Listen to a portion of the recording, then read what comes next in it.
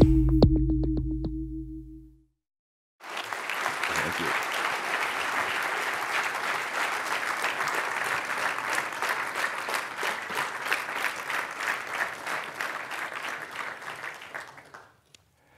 Well, it's a real pleasure to be here and to, to receive this award from BI. Uh, the, uh, there are two things that maybe I should comment in the beginning. First, uh, uh the year 1943 that uh, BI started was uh, also an important year for me because it was the year I was born. and the second thing is one of the areas that BI has done very important work is environmental economic sustainability.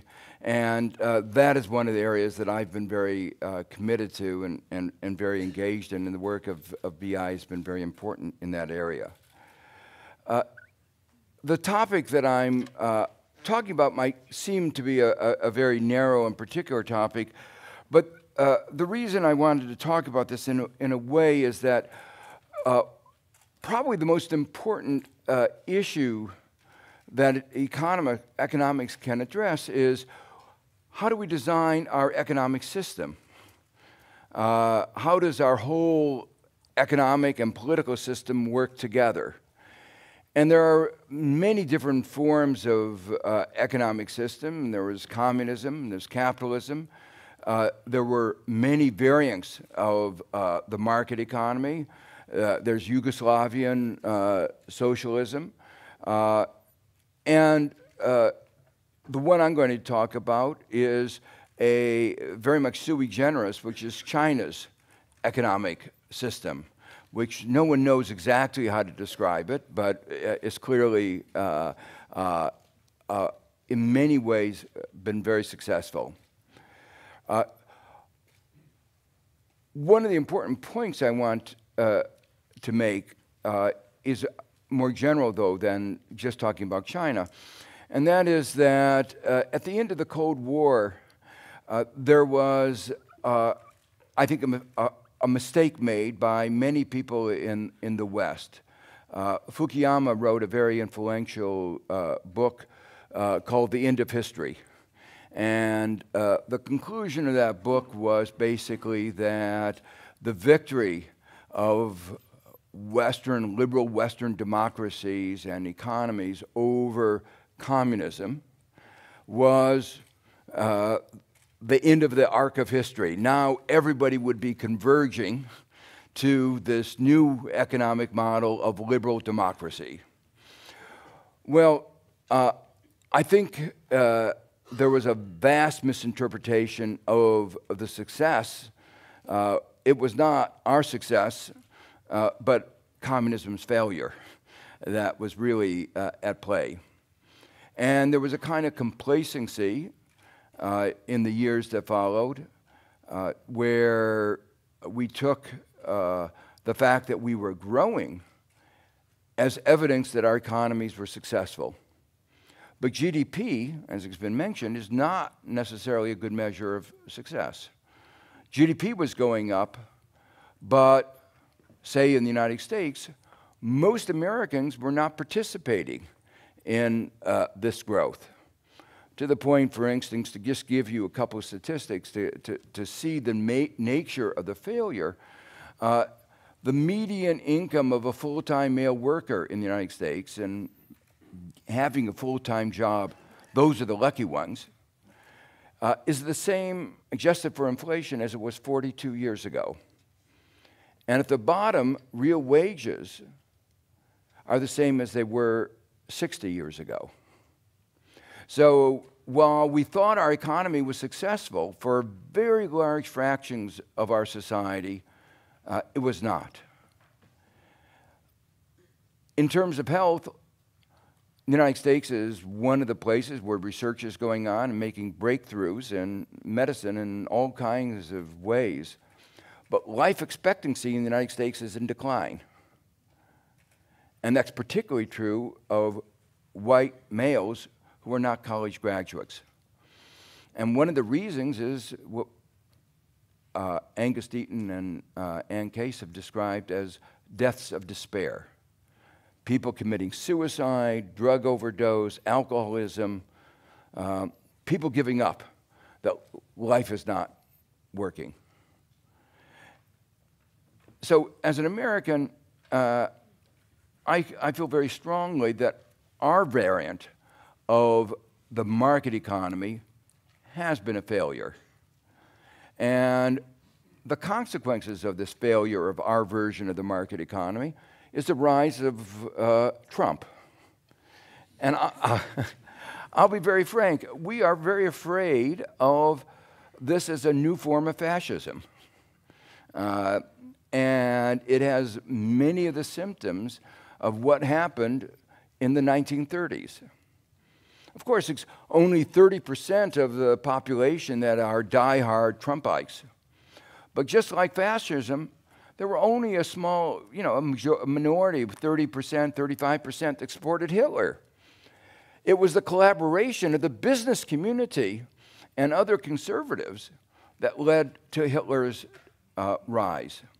And the United States, it's the business community and other conservatives who have joined Trump in celebration of tax cuts for the rich, a tax bill that actually lead, will lead in a country with the highest level of inequality among all the advanced countries, will lead to a tax increase for a majority of those in the second, third, and fourth quintiles. In other words, for the vast majority.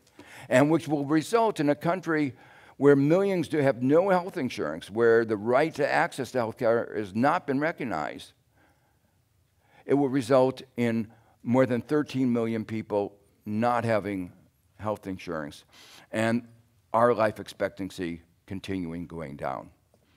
So these issues of the nature of an economic organization are actually paramount. And they're paramount not only for our economy, but also for our society and for our uh, uh, democracy. Now, the story I'm going to tell of China is a story of the economics.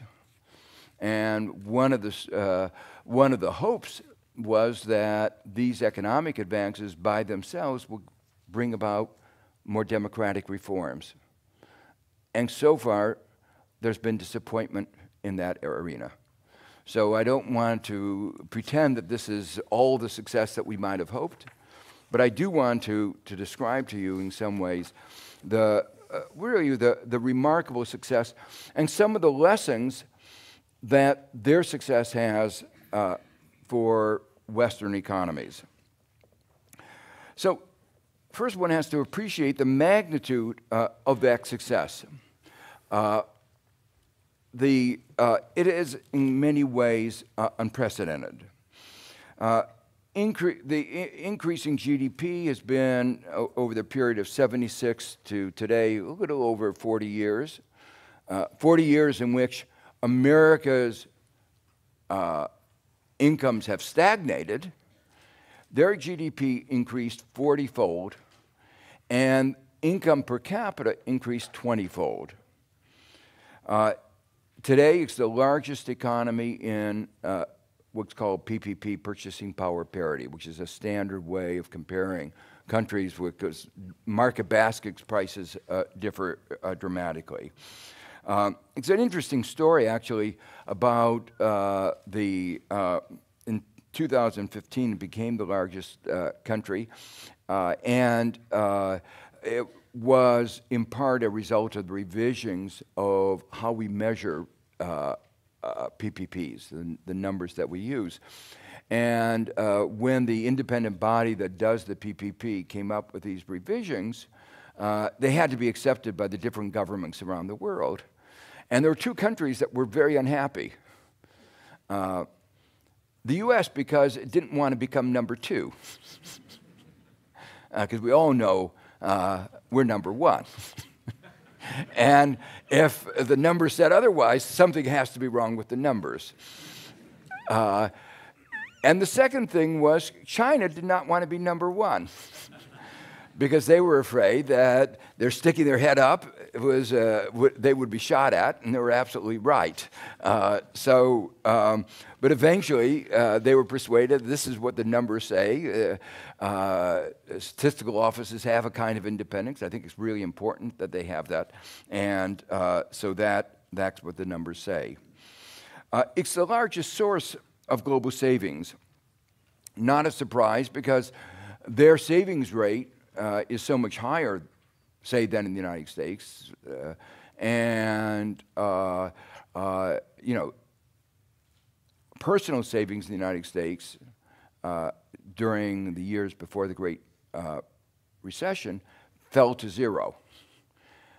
we've been trying to increase our savings rate. China's been trying to decrease their savings rate.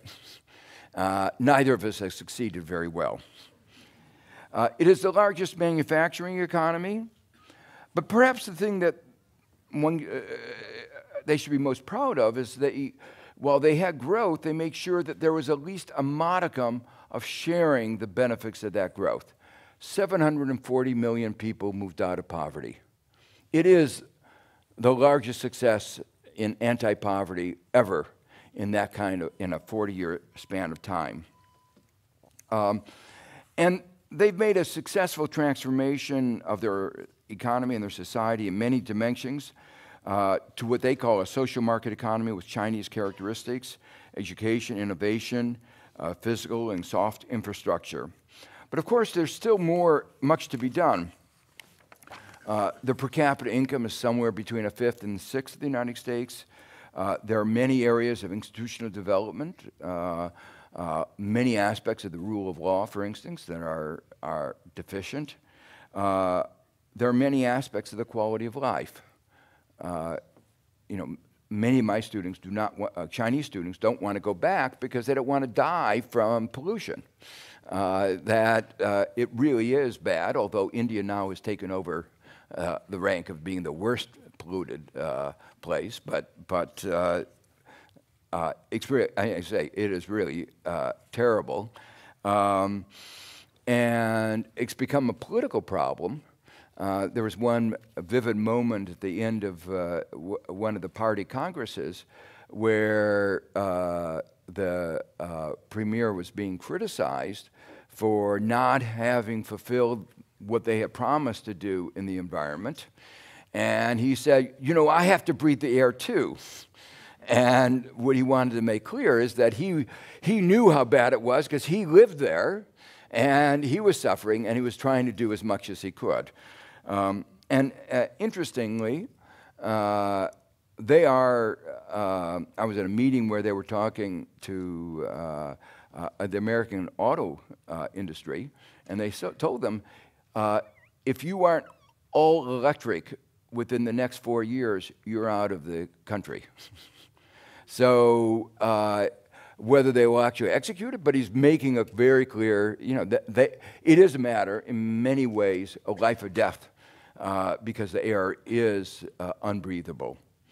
Um, there are uh, high levels of, uh, there are lots of problems in the health system. Their trends are positive, but they're still very deficient. Uh, they have lots of problems of inequality, including access to education, especially for migrants. And when you use the word migrants, it's not from outside of China, it's from the rural sector to the urban sector. And when they come to the city, uh, if you don't have a, what they call a hukou, a permit to come in the city, uh, the way they enforce it is your children don't get an education. It's a pretty cruel uh, system. Um, and uh, while they've done uh, more to move people out of poverty than uh, I said anywhere else, they've also created uh, the second largest number of billionaires outside the United States. So uh, at, at one form of inequality, they've, they've almost excelled, uh, matched the level of the United States. And uh, there are some aspects of their economic policy that are worrisome the excessive reliance on debt as part of their growth model. Um, and uh, they have not yet developed a sustainable basis of finance for the local government. But the question I want to talk about mostly today is how was China so successful? Uh, and at the beginning of that transition, uh, they had multiple problems. Uh, they had to uh, go from centralized control to a market system. They had to shift from a largely rural economy to an urban economy. They had to shift from agriculture to industry, and in some ways, from a very poor developing country to a, an emerging market, uh, and to an innovation economy and a learning society. And when you think about this, these challenges, you can't help but think of, the contrast with uh, a, a, similar uh, challenge, uh, that of Russia moving to a market economy. Uh, Russia had a more educated population, much more educated, particularly in areas of science. Uh, it had more resources. Uh, China was not, didn't have the kind of natural resources that, that Russia has, oil and minerals. It was already more industrialized, it was more urbanized, it had a much higher GDP. Uh, yet, in the years after Russia began that transition, after the fall of the Berlin Wall, its GDP went down. Uh, its uh, living standards decreased by some 25, 30 percent. And when we first were getting this data about how bad GDP was going down when I was at the World Bank, we were uh, worried whether our data was right. I mean, it was too dramatic. And after all, the ideology had been so strong. Everybody said going to a market economy is supposed to lead you to be wealthy. and so the incomes were supposed to be going up. Uh, you know, in math, we always say, well, maybe they made a sign mistake. uh, but uh, uh, they were going down faster than anybody thought they would be going up. But interestingly, and this uh, relates to what I said a, a minute ago, when we started getting data on what was happening to life expectancy, we knew that things were really bad. Their life expectancy was going down. And in fact, when I started seeing the data for the US life expectancy going down, it reminded me of the Russian data. It was a, a, a sign of societal dissolution of society coming apart. And in the Soviet Union, it was literally coming apart.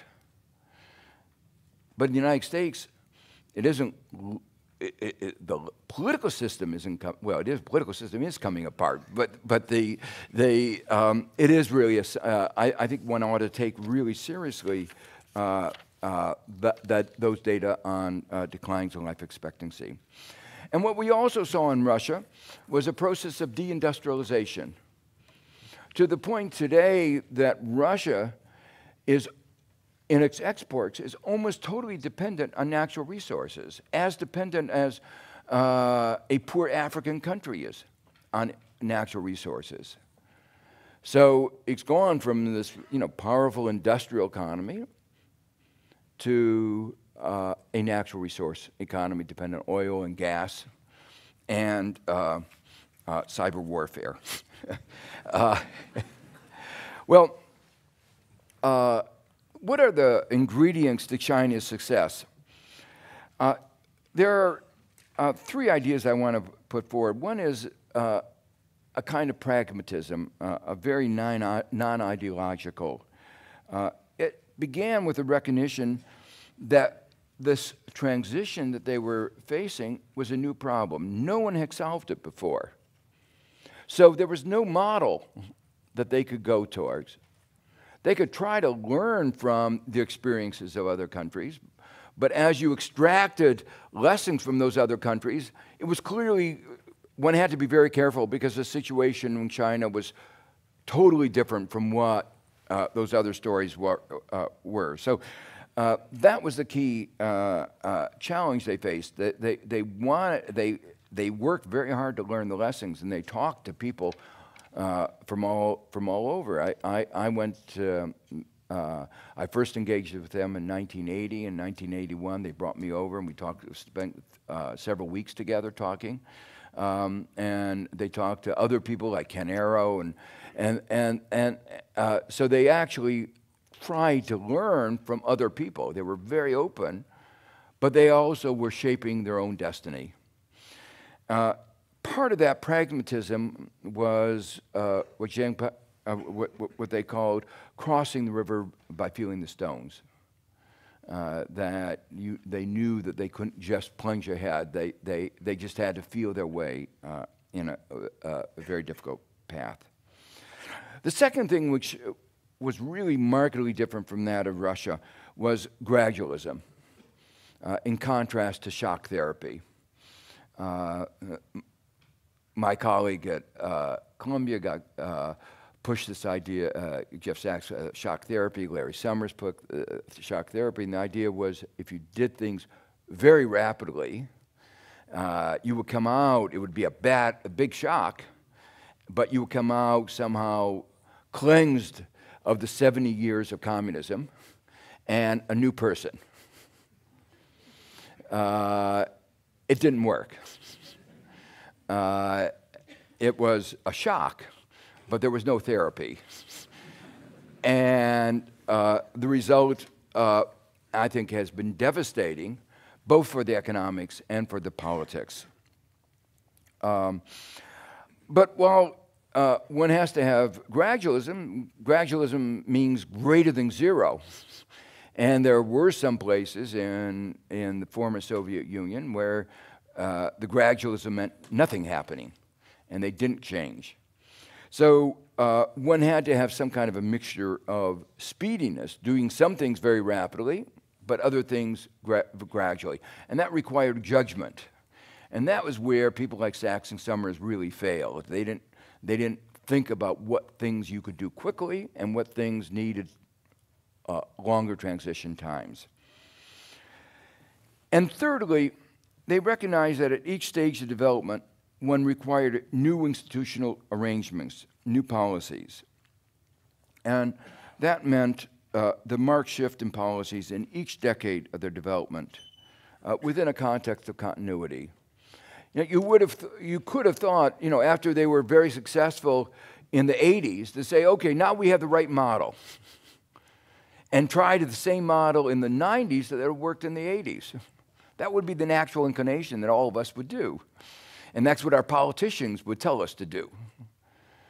But they realized that in 10 years, in the 80s, they had really transformed the economy. And the economy that they were entering into in the early 90s was a different economy than they had in 1978. And what worked in 78 was not going to work in 1990, uh, in, 19, uh, in 2000. And so uh, it was this uh, recognition that the fact that something worked in the past was not necessarily evidence that would work in the future because the circumstances uh, could have changed. There's one more thing I want to emphasize, and that's uh, in a way very relevant to some of the debates going on uh, today, and I'll explain why. And that is the recognition of the importance of learning and that what separates developed and developing countries is as much a gap uh, in knowledge as a gap uh, in resources.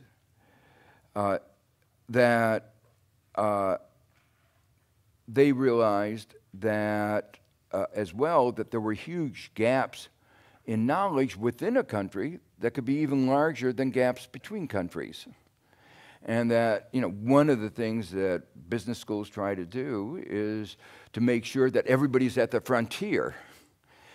Uh, the reality is, most people are well below the frontier. And so, closing the, that gap between the frontier uh, and where the average practices are is one of the big challenges, and really what a lot of good management practices uh, are about. Um, the uh, that meant they had heavy investments in education. They sent uh, many students abroad. About more than 10% of our students in Columbia are Chinese. Uh, and that's true of uh, an awful lot of the other uh, uh, major American universities. they learn from others. they, at the very beginning, they said opening, being open to others was essential part of their de- development strategy. The openness uh, was critical. Part of that was engagement in trade, um, but it was also a matter of listening to the experiences uh, of others. Uh, the, the reason why I say this is also very relevant today uh, for all countries is that um, if we think about why our standard of living in the West is higher than it was 250 years ago, why we are living, uh, say, average life expectancy of 80 years rather than 40 years, uh, it's not because we saved more, it's really because we learn more. It's all based on research. And that is what's transformed our society. And uh, in a way, uh, Adam Smith, when he wrote The Wealth of Nations, could not have fully appreciated this because it was before we went into a learning economy. He talked about a pin factory, commerce, and that's important. But in terms of transforming our societies, increasing our living standards, extending our longevity, uh, what has made the biggest difference is research and our learning, learning by doing, you know, big learning, big steps and little steps. Those are the things that uh, uh, are important. Uh, the reason why I, I, I uh, dwell on this at this moment is uh, the United States uh, seems not to have learned this lesson. um, for the first time in our tax bill, we actually imposed a tax on universities. And a majority of the Republican Party believes that universities are bad things. Um, so uh, you have this, uh, you know, the, uh, the wealthiest country in the world, arguably, not recognizing what is the source of wealth and going about systematically trying to destroy the processes by which you uh, uh, increase the wealth of the country.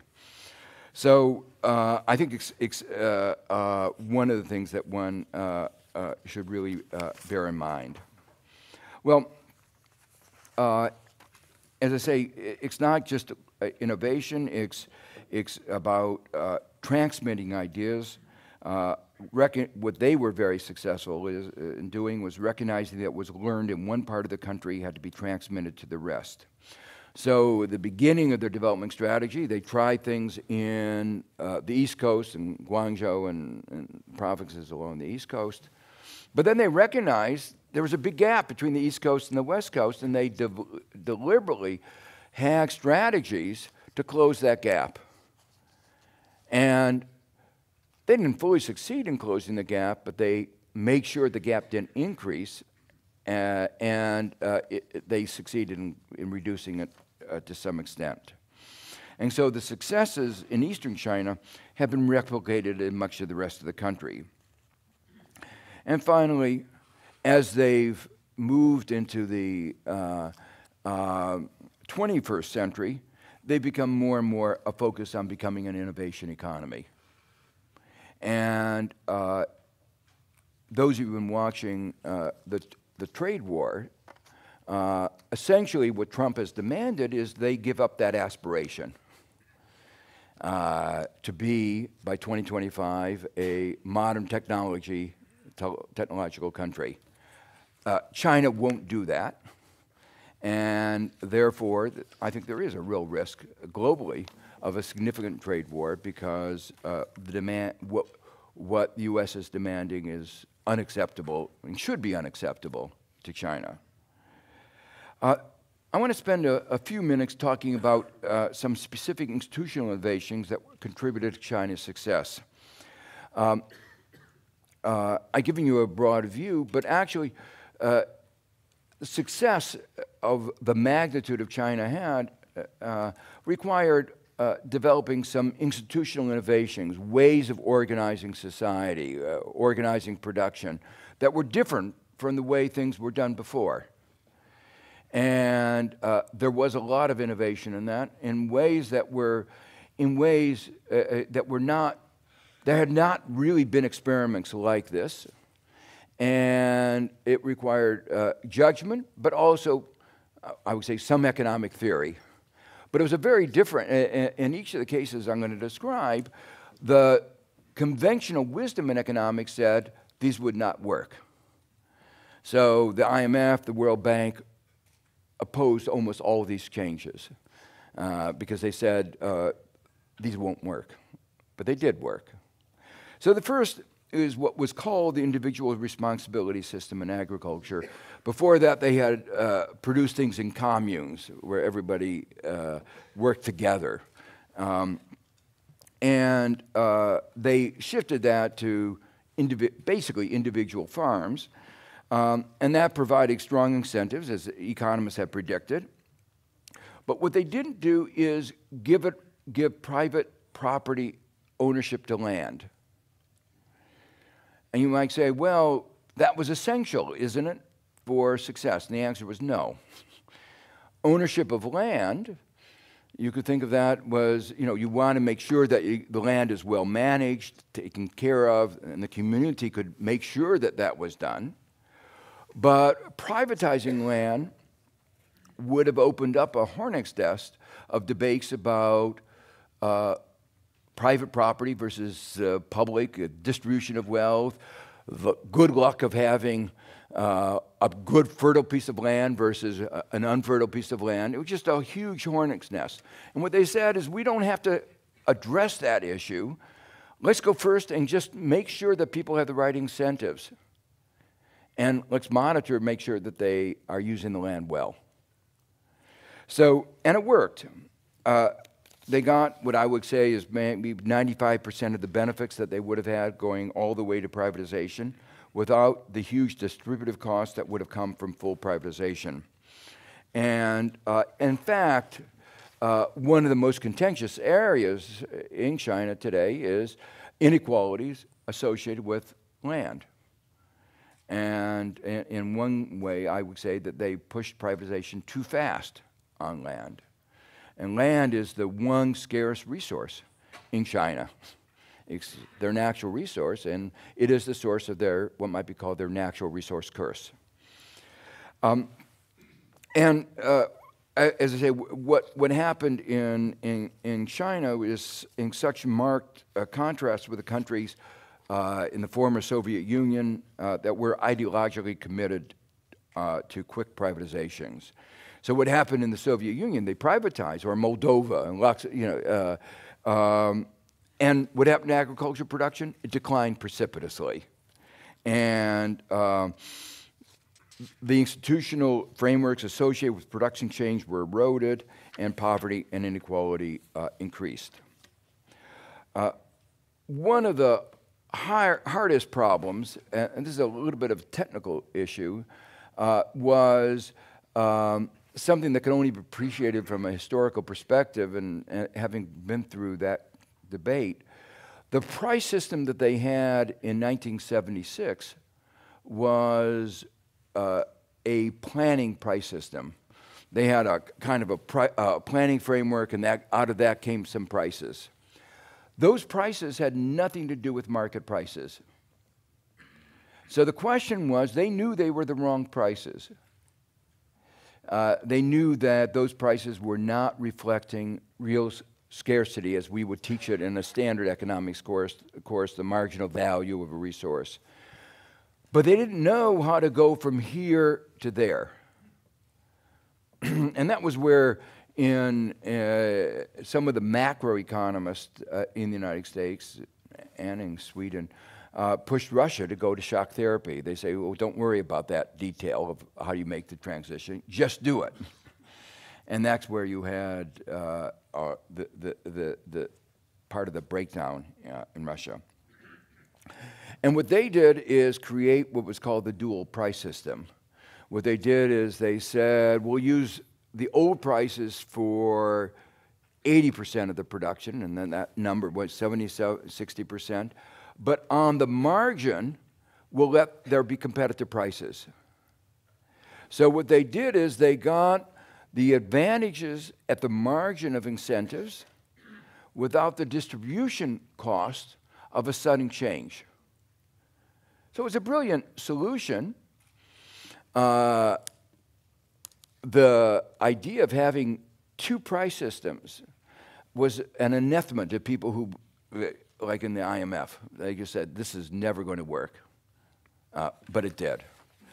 Um, and so that's where simple ideology, you know, uh, gave the wrong idea that they had tried to face key issues of how do you combine concerns about distribution with concerns about incentives, and they came up with this uh, solution. Um, a uh, third institutional innovation was the TVEs, the Township and Village uh, Enterprises.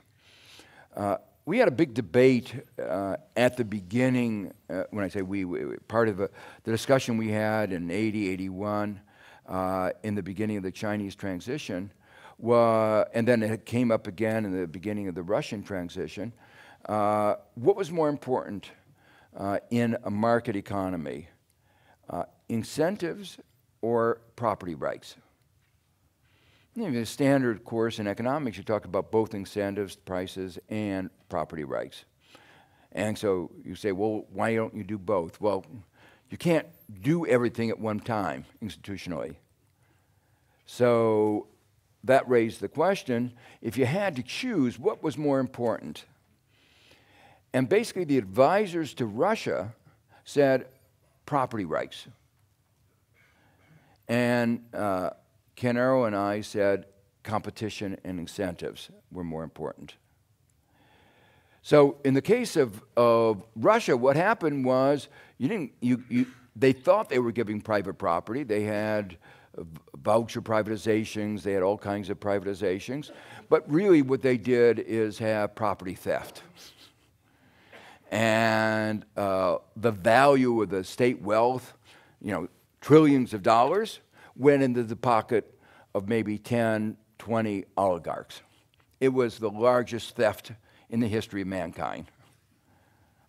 Uh, and uh, the level of corruption uh, embraced even American academics. Um, there's a very nice book that just came out a couple of weeks ago uh, called uh, Because They Could that describes the, uh, the role of one of uh, Harvard's uh, economics professor who was the advisor to uh, Russia and something called the Rule of Law Project under the USAID. Uh, it's an amazing story, and some of you should uh, might enjoy reading it. it's an amazing story because as they were teaching about the rule of law, uh, they had their accounts in Cayman Islands, and they were using inside information to uh, uh, make money off of the, uh, the, Russian people and the Russian uh, uh, government massively.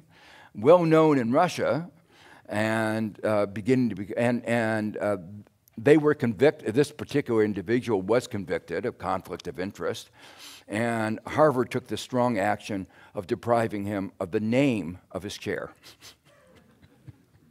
uh, so uh, uh, uh there, there, there was in this uh, privatization process uh, huge, what I call briberization, corruption. Competition, I don't want to say the other system was free from corruption, but competition, decentralized competition, actually led to a race to create a market, an industrial economy. And um, uh, the TVEs were these uh, little enterprises in each little community, and, and the communities had existed before. So you used the social capital that was already existing. You didn't destroy everything, you used the social capital, but you converted it to create an industrial economy. And, um, and it worked.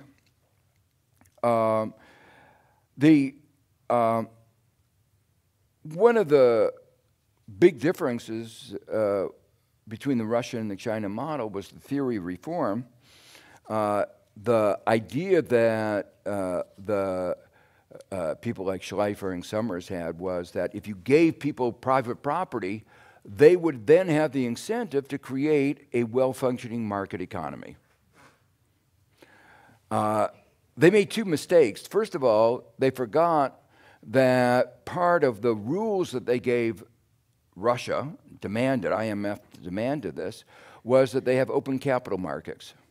So as the Russians were stealing money from uh, the government, they were taking that money out of Russia and using the rule of law in the UK and the United States to protect their wealth. And didn't want a rule of law in Russia because they wanted to continue to be able to steal inside of Russia. So it was an optimal framework. You stole within Russia because there was no good rule of law, and you could protect the property by taking it out of the country and use the rule of law in the West. Uh, it was an ideal uh, arrangement that the IMF had organized for theft. Uh, the, uh, and in a way, uh, you shouldn't have expected uh, Rockefeller or Gates to be the enthusiast of uh, strong competition policies. And that's what they wanted, you know, or you wouldn't want somebody who uh, is uh, engaged in corporate theft to be the advocate of corporate governance. So uh, I think they had uh, totally the wrong theory. Well, as I said, the Washington consensus uh, policies said that TVEs wouldn't work uh, because they had ambiguous property rights. They were still government. They were operated by the to township and the villages. And they said, well, public sector can't work. But it did. Um, and I think, as I said, partly by using the existing institutional infrastructure, developing new institutions and through competition, but also because it was at the local scale, there was a kind of monitoring that was going on that you couldn't have done at, at, at the national scale, but at the local scale, you could do that uh, monitoring. But on the other hand, the TVEs uh, have a, a scale limitation, so when they went into the next phase of the development in the last 15 years, the TVEs have played a much less uh, important role. Uh, throughout this development, uh, one of the important instruments of uh, economic policy has been industrial policies, uh, identifying priority sectors, but not exclusive focus on them.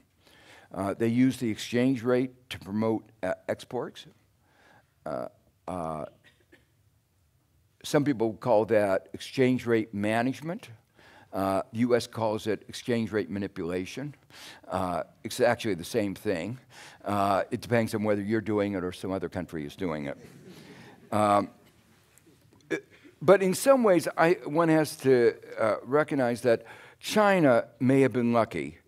Uh, they began their development strategy just at the moment when the West was very open uh, to importing manufacturing goods.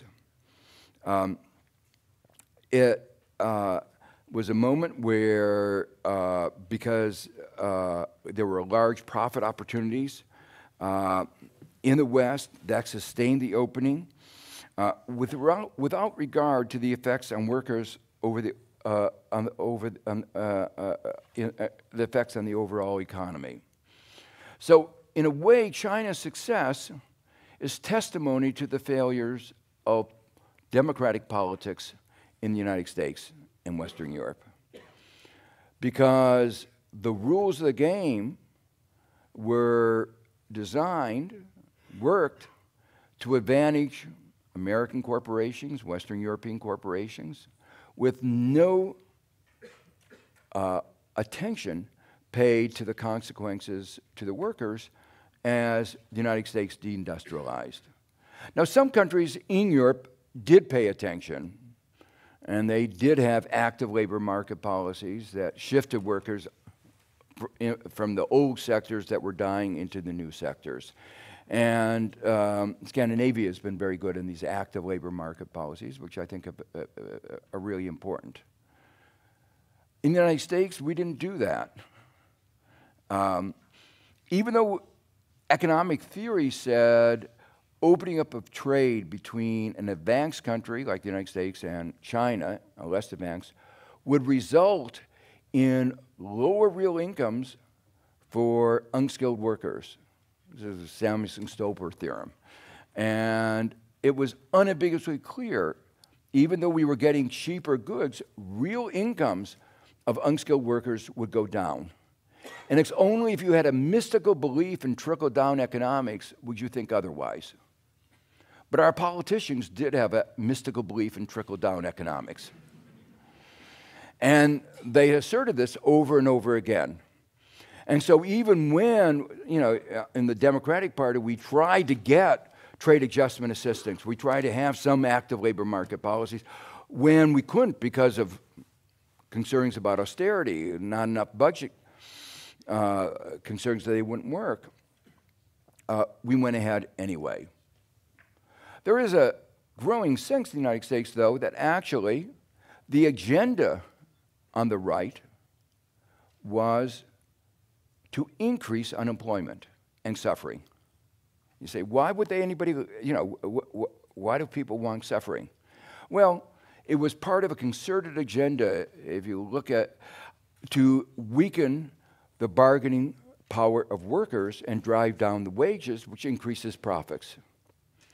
So, if you look at this from a concerted point of view, the reforms in our labor laws, reforms in the way antitrust policy was enforced, that reform is a, not the right word, but changes in those laws, um, changes in corporate governance and implicit understandings, the legal frameworks, um, and uh, in the investment agreements and the trade agreements, the investment agreements, they gave more secure property rights if American firms invested abroad than if they invested at home, which meant that they were encouraged to invest abroad, which also meant that if a firm, if workers came to a firm and said, "We want higher wages," and the firm said, "No, if you, we give you, if you continue to demand higher wages, we're going to uh-huh. leave," that was more credible.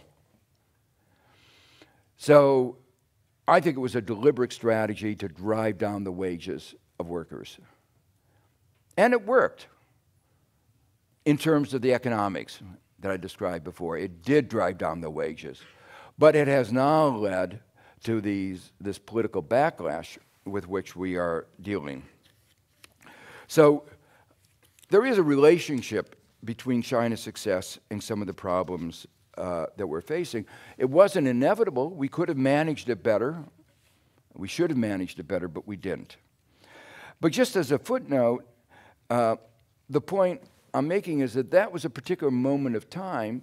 So Africa won't be able to follow the manufacturing export led growth model um, that uh, led to the success of East Asian countries, including China. In fact, now uh, uh, globally, uh, manufacturing employment is in decline. And any country that uh, believes that manufacturing should be at the center of their economic policy is misguided. Uh, it can be part of it, but it can't be at the center. Well, uh, let me just conclude by some.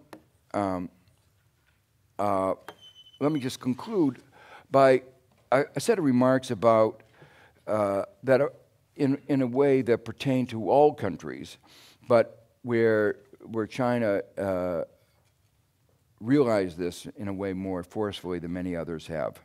And that is that reform is a never ending uh, process. Uh, that uh, uh, societies are always changing, technology is changing, and therefore the policies that uh, are going to make a society successful have to change in a corresponding way. Uh, for China, China is entering a new stage of development uh, it's facing critical problems of inequality, health, environment, livable cities. Markets won't solve those problems. In fact, many of those problems have been created by the fact that they had markets that were too unfettered, too underregulated. They're going to have to regulate them better. Uh, there are further questions posed by changing globalization uh, uh, the recognition of the risk of uh, excessive financialization. Uh, the West, I believe, hasn't succeeded in adequately taming financial markets. Uh, as you know, this is uh, this week is the 10th anniversary of Lehman Brothers, and and a lot of people are talking about have we done enough? I think it's absolutely clear, no. and what's particularly disturbing is uh, the Trump administration is trying to undo the inadequate things that we've uh, already done. Uh, I, I, can, I was at a, a, dinner right before the inauguration uh, of uh, Trump, where one of his chief economic advisors was there. Uh, I don't normally associate with these people, let me make it clear. Uh, but uh, it was an embassy dinner, so I, I, I and I didn't know he was going to be there. Anyway, they, they um, and he was talking about uh, how he was going to deregulate the financial sector uh, within weeks after taking office. Um, and uh, the first thing that struck me is he clearly had no idea of our democratic processes. You know, he really thought, you know, Trump is the dictator, he gets to write, rewrite all the rules. No, no, none of these pro processes that we put in place as democratic checks against authoritarian leaders no knowledge of that. It was just so clear. But the second point uh, I was going to ask, but somebody asked it before I did, uh, quizzically, uh, didn't we have a crisis in 2008? and uh, the, the, implicit answer was that was ancient history. Uh, and uh, we have to move on. but it's not ancient history and I think the risks are uh, very much with us.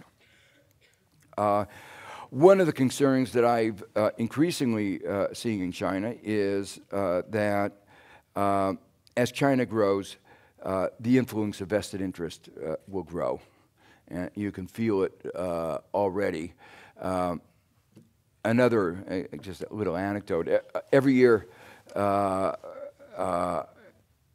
when I go to China, I, I often uh, talk to the finance minister, and I've been pushing them to move away from their debt finance growth model to more tax financed. And in particular, I'm telling them they need a carbon tax.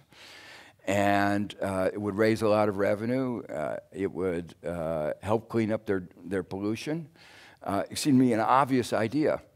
And the finance minister every year says, great idea. And uh, he says, We have some political uh, problems, which he means the auto industry, the coal industry, the you know, steel industry, and so forth. Um, we're going to work on it. Next year, we go through the same conversation. Uh, as China has grown, it, it, has taken on many of the features of a uh, modern vested interest economy where uh, getting change is becoming uh, more difficult. And that, of course, is, is very worrisome. Um, but uh, the principles uh, that guided China in the first 40 years are likely to continue to be relevant. That, by that I mean the pragmatism, crossing the river by feeling the sto stone. There are going to be new problems, not fully foreseen, with that will appear.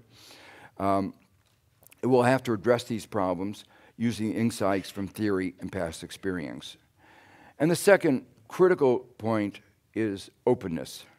Uh, there is much to be learned from experiences of others and from the insights of non ideological economic analysis. Um, uh, and again, uh, we're in a particular moment where uh, I hate to keep coming back to the United States, but we're a little bit obsessed uh, with with our problems. Uh, um, one can't help but reflect on the closed mindedness of our current administration, of not looking around. You know, if you think you're number one and you think that you're the, there's nothing to learn from anybody else, uh, that is uh, part of the beginning of the end. Uh, so uh, we hope that this is just a temporary interlude. um, but uh, as we reflect on uh, what made China successful in the ways it is, I think there are a lot of lessons for all of us to think about how we can make our own economy successful for all of us. Thank you.